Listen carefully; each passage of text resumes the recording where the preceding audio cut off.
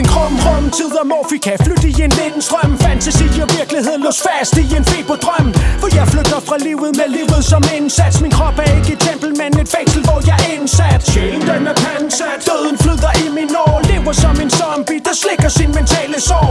En anonym statist i livets teater Så jeg tager plads i venteværelset hos den diabolske psykiater. Velkommen i hulen, kuglen på panden tager plads ved siden af fanden og manden med lyn. Jeg kurerer alt fra mental ekstrem til veje min Kunne vinder din DNA og spejser den med gen Manipulerede grundsten Jeg kan få dig i lag med tandfen Eller give dig polioben.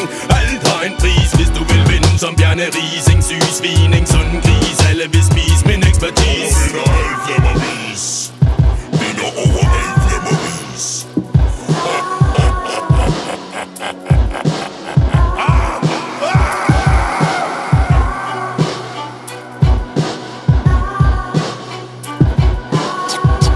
være alene med ham?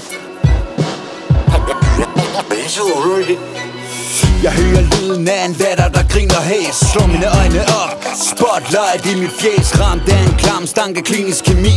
Mine sanser fastlås Vakuumpakket vind. I Rejser mig op Mærker min krop er mekaniseret. Vågner i min lejlighed Fuldstændig malplaceret Mit hoved er forskruet I endeløs kaos Der lader mig suge ind i et sygt univers. Gulvet knækker, mens jeg traver hvileløst rundt De cirkler flasher ind og ud af virkeligheden Som stjerner, der glemter. Under mine øjne har jeg render, der render sammen. Stiger tom på flammerne fra min verden, der brænder sammen. Huden skralder fra mit fjæs under mine negle. I frustration over, jeg blev født til at fejle.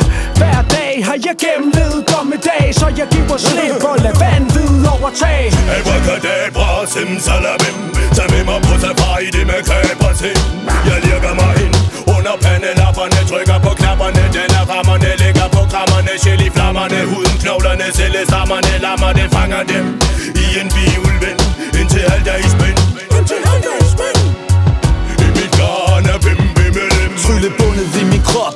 Spændt op i lænker En marionet der agerer som du tænker. Så fortæl mig, hvad har du tænkt dig? Jeg har tænkt mig at hænge dig Men først i en voldkold nat til december. Det bliver en lang, klam tid, mens jeg venter. Uden kontakt til mit nervecenter Så jeg følger strømmen som en guldfisk i en blender